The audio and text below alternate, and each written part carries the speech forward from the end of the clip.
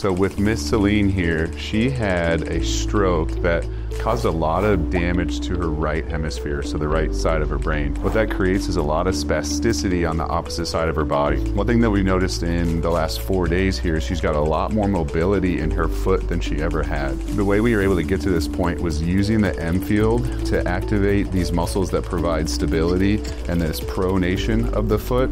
This is the range of motion that we're trying to encourage. And then when we find that range of motion and we get there, then we want to provide a lot of sensory feedback. So I'm using the EmField on her heel cord. That's like big, strong muscles from her, her calf muscles, her soleus muscles, and telling her brain, okay, we're in this position, we can hold this position appropriately, allowing her more perception of this part of her body, and then perception and feedback equal control.